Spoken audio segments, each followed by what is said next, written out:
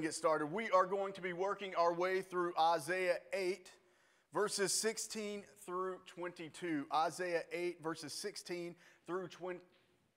It's going to be a great one tonight. Isaiah 8, 16 through 22. Now, before we can move forward, we must first back up. And last week we talked about Isaiah chapter 8, verses 5 through 15. And it's in those verses that God speaks to Isaiah through a vision. And why is he, why is he doing this? What is taking place? Well, we know that King Ahaz and the Judahites have left their faith in God. They have left their faith in God. And why is that? Why have they done this? Well, it's something that happens throughout every believer's life in a sense. You, you see this, it's cyclical in a way. Let me put it that way it is cyclical. You'll have a body of believers, and, and they become comfortable with the Lord. And you see them start to pull away from Him. And this is exactly what's taken place with the Jewish people during the time of King Ahaz. King Ahaz is no longer relying on God, and it was God who told them that he was going to be there for them. All they had to do was depend on him. There would be no foreign armies coming in to invade them. They would not have to worry about food, for he would provide for them. But King Ahaz turned from God and he went to partner up with a pagan army we know as the Assyrians. And why did he do this? Because the northern kingdom had partnered up with Syria. And we know that those two had a plan to come down and overthrow King Ahaz. So we see all of Israel rejecting God. And it's because of this that destruction is coming for them. And, and now, this has been an ongoing theme as we are making our way throughout the book of Isaiah. Isaiah has been given this vision. He goes to King Ahaz. He warns King Ahaz to not turn from God, to not rely upon himself and a foreign army. But King Ahaz does not listen. So it's now God who has promised his wrath. What is so arrogant about King Ahaz, even after Isaiah has gone to him, what is so arrogant is that King Ahaz believes that he has made the right decision by abandoning God and relying on the Assyrian army. King Ahaz feels safe about this partnership that he has made. For he is happier to hook up with the pagans than he is to trust in God. Now, it's in this vision that Isaiah compares Assyria, the army, to a river that floods Judah. And we know what happens to a town when the river begins to rise. It can take over, it will destroy everything and anything in its path. And that's what God has promised. This is what is coming for King Ahaz and the Judahites. The very people that they partnered with, God is going to use them to destroy Judah.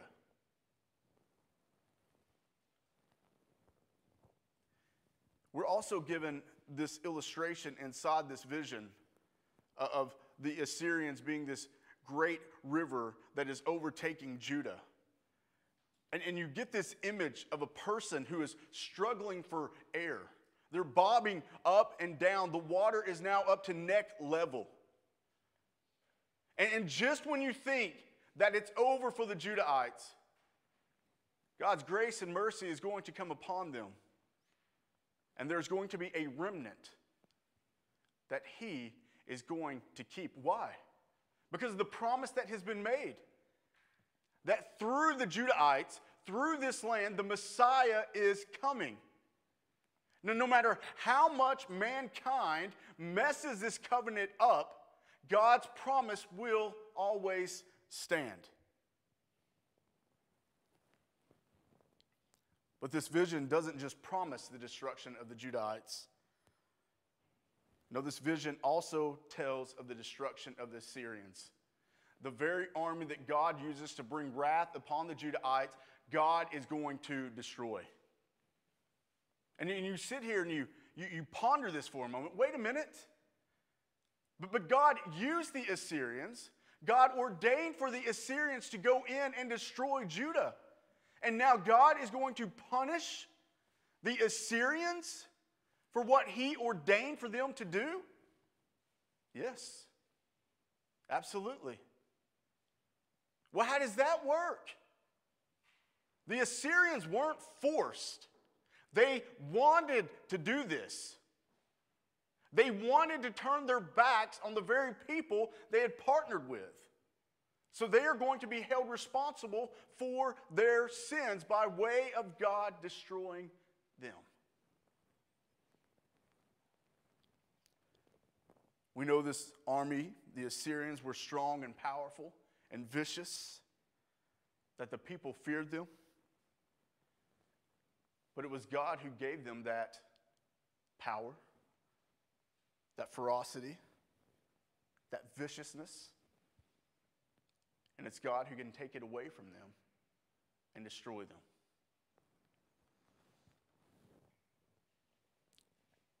Isaiah 8, verse 16. Again, we're still in the vision where it says, Bind up the testimony, seal the teaching among my disciples. Now, this seems to be metaphorical because if it's to be taken literally, then this would mean that Isaiah was keeping the word that God had given him by way of this vision, and he was going to keep it to himself. He wasn't going to allow this word to make it to the people any longer. His missionary work was done. He was leaving the public ministry. But that's not what this is saying here. Because we've already been told through the vision that Isaiah is to do what? He is to write the vision down on a large piece of wood or stone to where the people can come and read about this very vision. So, this is a metaphor.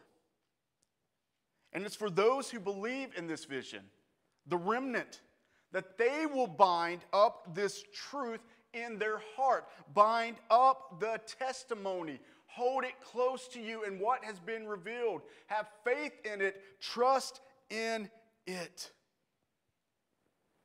What was this telling the people? The remnant, you are to rely on God, not the person who has been placed in charge of you by the name of King Ahaz. Do not place your faith in him. Verse 17 says, I will wait for the Lord who is hiding his face from the house of Jacob, and I will hope in him. Now, the house of Jacob means the nation of Israel. And Israel at this point in time has turned from God. The northern and southern kingdom have both partnered with heathen armies instead of depending on the Lord. Israel has turned from God, and God has turned his face from them. And because the people have rejected them, have rejected him, God's wrath is coming for those very people. Now, now think about this. This is the Israelites. Th- these peoples, their ancestors, God rescued them from slavery, brought them through the wilderness, and in doing so, He fed them all along the way, bringing them to the promised land. God never broke His promise.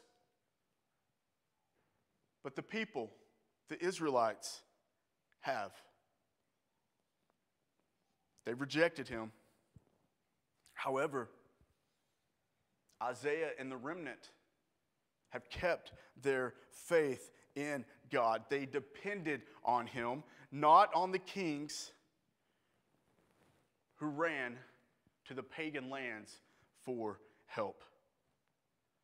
Church, for a true disciple will trust in God and will wait on Him. Why?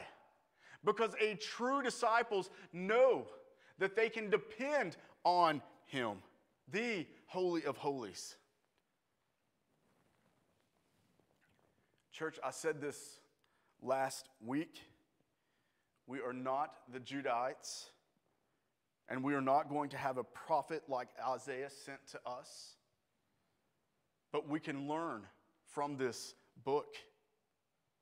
We can learn because we have the complete Word of God. And just as the land of Judah was being run by a king who did not want God, who did not depend on God, we must learn from this. Because now, the future leader of this country and his party are against God. The party that is coming into power does not believe that a baby is a gift from God. They see it as a clump of cells that can be torn apart in the womb. They do not believe that the word is inerrant and infallible, or else they would not say it is okay for an eight year old to transition into the so called opposite sex.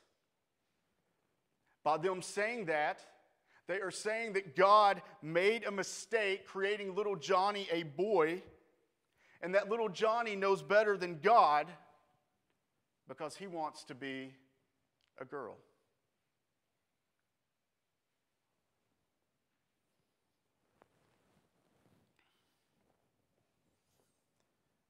This isn't going to be popular. But I believe this is one of the reasons why we are in the situation that we are in now. You heard me speak on the Equality Act probably last Wednesday and last Sunday. It's coming. For Joe was promised within the first hundred days, he was going to push it through. So I went to joebiden.com and printed this out. This is part of the Equality Act. Now, let me say this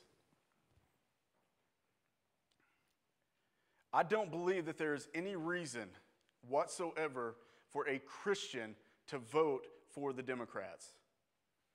Now, listen when I say the Republicans, I'm not saying they're any better, but the one thing that they were doing was actually protecting the church. That protection is now gone. So I'll say it again. I do not know how a true Christian can vote for the Democrats, a party that is okay with killing babies, that is okay with allowing children to get on hormones to transition over to the so called opposite sex.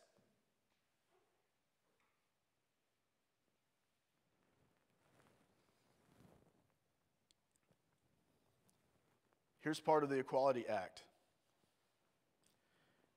it's to support the freedom to build and protect families. Sounds good so far. On May 6, 2012, in a historic interview on Meet the Press, Biden became the highest ranking elected U.S. official to support marriage equality. Three years later, the U.S. Supreme Court agreed, ruling that the freedom to marry is a fundamental right. Along with the freedom to marry comes the freedom to build a family. Biden believes that the LGBTQ plus people and the same sex couples should be able to build and protect their families. Yet many government funded foster care and adoption agencies still discriminate against LGBTQ plus families or place additional burdens on these families during the foster care or adoption process.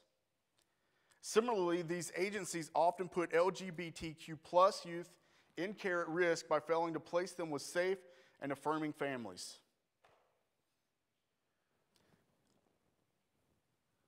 In November 2019, the Trump Pence administration proposed a rule that will permit adoption and foster care, care, agencies that discriminate against LGBTQ plus families to receive government funding. So, what this is saying is that at one point in time, there were Christian organizations that were adoption agencies. And those Christian adoption agencies were not allowing same sex couples to adopt from them, they were receiving government funding. If this takes place, those Christian agencies will no longer receive government funding and they will no longer be able to say, Look, we hold to the Word of God. That is our highest authority. We do not hate the LGBTQ community. We don't. We, we do not hate them. But we cannot allow a child to be adopted by them. Does the church, do those agencies not have the right to hold to their faith? If this passes, those Christian adoption agencies will be gone. Now, there are other adoption agencies out there that an LGBTQ plus family can go to. But instead, they're going to come after the religious agencies.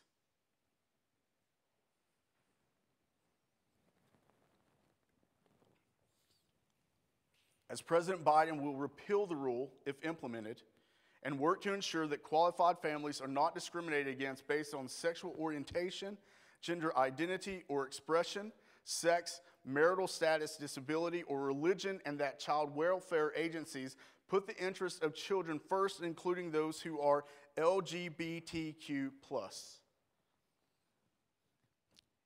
In addition, Biden will work with the U.S. Department of State and other federal agencies to ensure the equal treatment of same sex couples and their children in the application of all federal programs, services, and benefits, especially with respect to citizenship, eligibility requirements, and immigration and naturalization proceedings.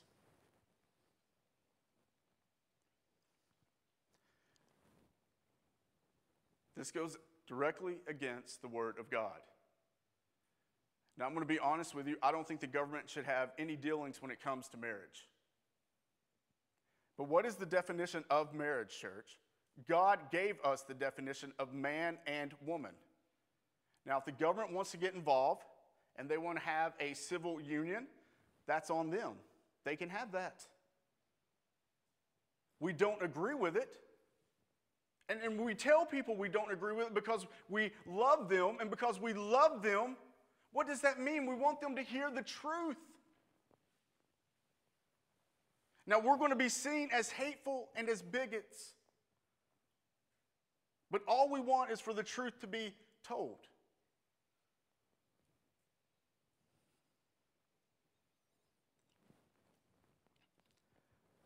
Also, part of the Equality Act, and this is what terrifies me, is the misuse of broad exemptions to discriminate. Religious freedom is a fundamental American value, but states have inappropriately used broad exemptions to allow businesses, medical providers, social service agencies, state and local government officials, and others to discriminate against LGBTQ plus people. The Trump Pence administration has deliberately and systematically attempted to gut protections for the LGBTQ plus community by carving out broad religious exemptions to existing non discrimination laws and policies across federal agencies. Biden will reverse Trump's policies, misusing these broad exemptions, and fight so that no one is turned away from a business or refused service by a government official just because of who they are or who they love.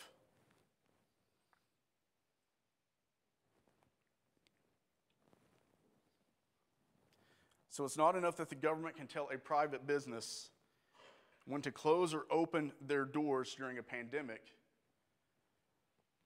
But now they're going to be able to tell a private business they must serve everyone no matter their religious beliefs and or their convictions.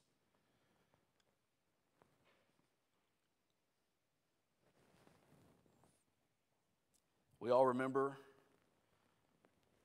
the baker who was sued for not making a cake for a gay wedding. Does that baker not have the right to say no? Because there are plenty of bakers around who will bake that cake for them. Or what about a wedding photographer? Do they not have the right to say, yes, I will shoot this wedding, but no, not this one because it goes against my religious beliefs?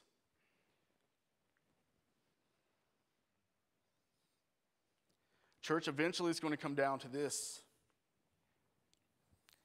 a church will not be able to refuse to marry a same sex couple. And again, it's not out of hatred, it's out of what God and His Word says. It's what it states. It's a man and a woman. That is the definition of marriage, and that is what we as a church are to hold to.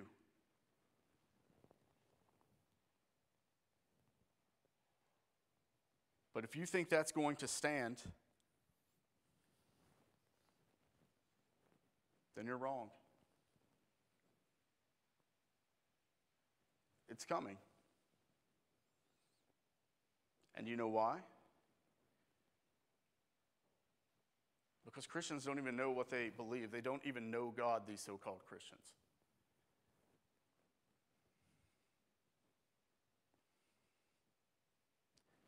I'm telling you, I don't think there's any way possible a true Christian could have voted for a Democrat.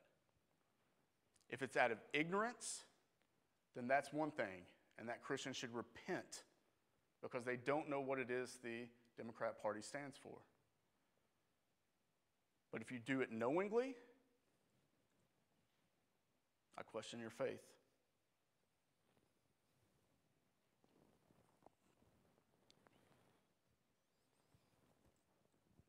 It goes on.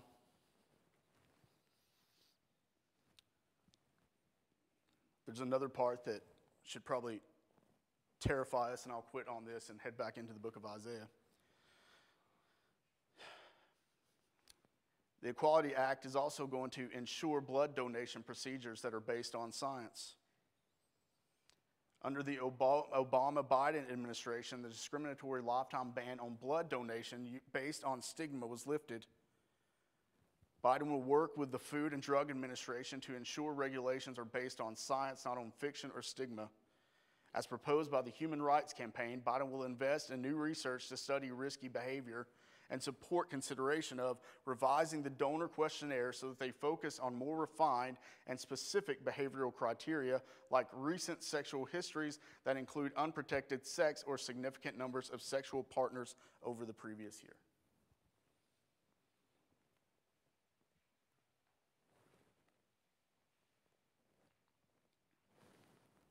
That's not based on science, that's based on trying to please everyone.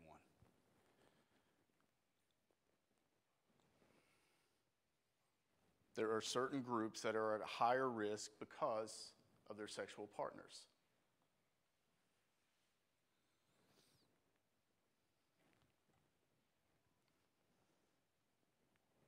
It's almost as if common sense is gone in this post postmodern world that we're living in now.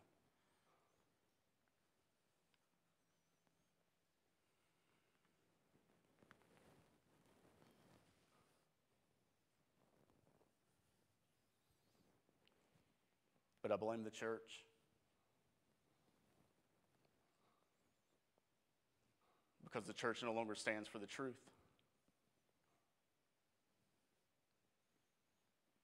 We no longer have men behind the pulpits claiming what the word says. We have a bunch of cowards, but not true men of God. See, they're more concerned with the pulpits being full than for the truth coming out. Because you know what the truth does today, church? It turns people away.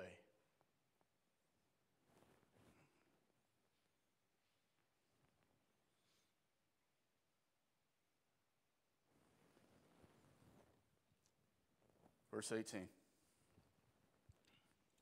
Behold, back to the vision. I and the children whom the Lord has given me are signs and portents in Israel from the Lord of hosts who dwells on Mount Zion. Now, Isaiah makes this personal here. When it seems as if everything is dire, Isaiah finds comfort in the disciples that God has given him. And how did God do that? He regenerated the hearts of these Judahites. And in doing so, they became disciples of Isaiah. They heard what he was saying, they believed in what he was saying. And, church, they believed in a time when believing in God wasn't popular. I don't know. What about you?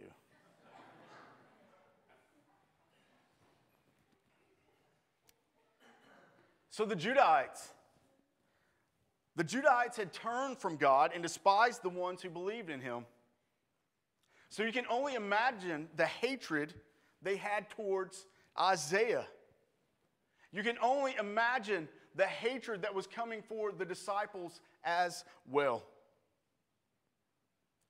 For the Judahites wanted nothing to do with them, that being Isaiah and the disciples. And that's evident by how few of the Judahites were actually converted. Now, this seems as if it would be a time when Isaiah would be discouraged. His ministry wasn't bursting at the seams. That's because he's reformed. And the more he preached, the more people despised his message. But that didn't matter to him. He knew that he wasn't going to be popular. The only thing that he wanted to do was to please the God of hosts. That's the bottom line. If you are a true believer, the one thing that you want is to please God. And how do you do that? You hold to his commandments, you hold to his word. And is that going to make you popular? No. Today, just like then, it's going to make people hate you. And it's going to get worse. Oh, Britt, thanks for the uplifting sermon. It's not supposed to be. We are heading into a dark time.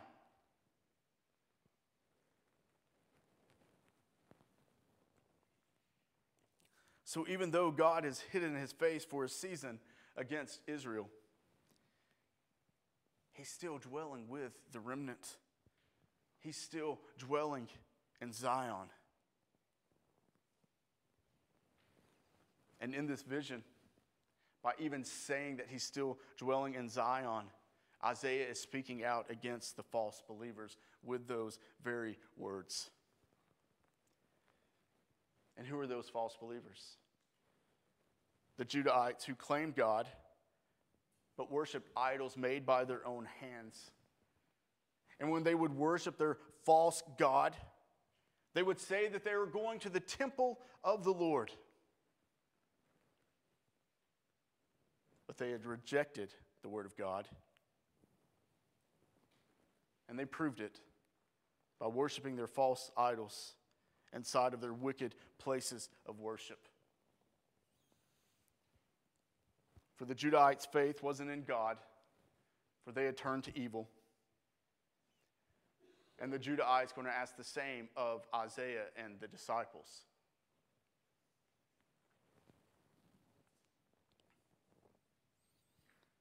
I believe we can see another comparison there. We have a lot of so called Christians today who say they, they worship Jesus. They believe that Jesus is the Son of God, the third person in the Holy Trinity. But when it comes to the Word, they don't follow it. They look more like the world and believe more like the world than they do the true disciples. Hence, where we are today. So again, I say the Judahites' faith wasn't in God, they had turned to evil. And they're going to ask Isaiah and the disciples to do the same. Look at verse 19. Still in the vision. And when they say to you, Inquire of the mediums and the necromancers who chirp and mutter, Should not a people inquire of their God? Should they inquire of the dead on behalf of the living? For as Isaiah and the disciples continue to preach the true God, the Judahites will become angry with them. And they'll say to them, Well, do we not have the rights to call on the spirits of the dead for guidance? Do we not have the right to call for the necromancers and the mediums? Why can we not go to them?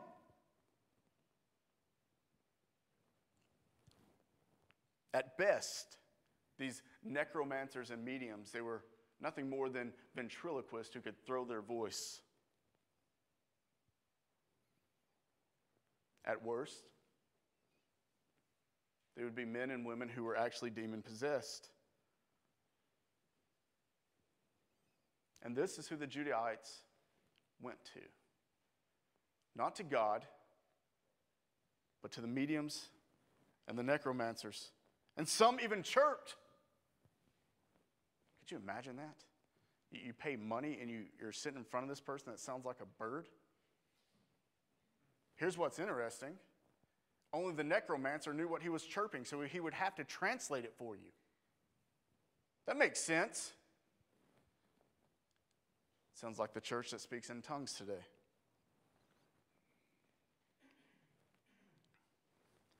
Isaiah cries out to the Judahites Why are you crying out to these pagans, these pagan gods, these false teachers?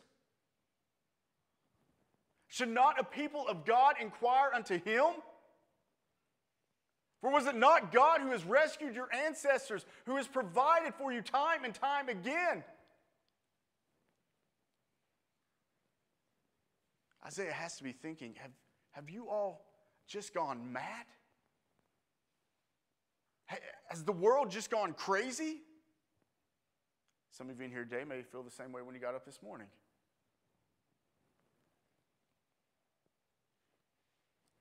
Isaiah is telling the Jewish people that they have more respect in the Gentiles' false gods than in the one true God. It's insane, isn't it? The Israelites were given the one true living God, and yet what are they focusing on? The dead.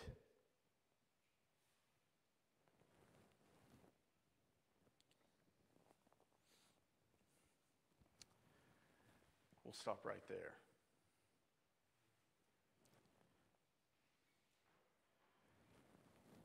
Church, please understand that when we speak the truth, we're not going after a certain community.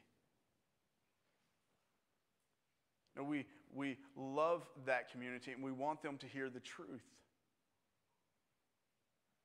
Let me put it this way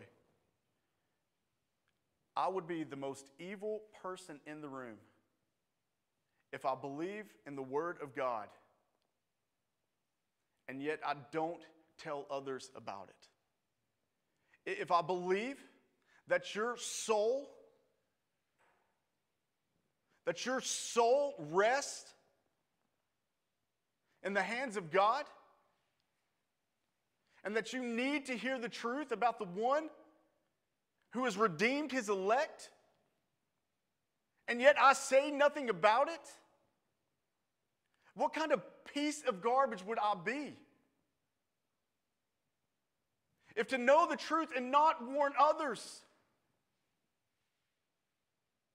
Again, we're going to be seen as a bunch of bigot hicks who are not going along with the world. But, church, we, we can't.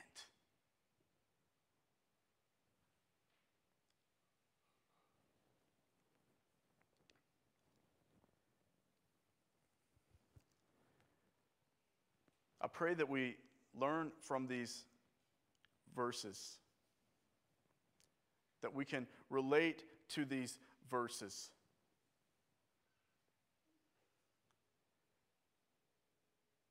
Because our only hope is in Christ.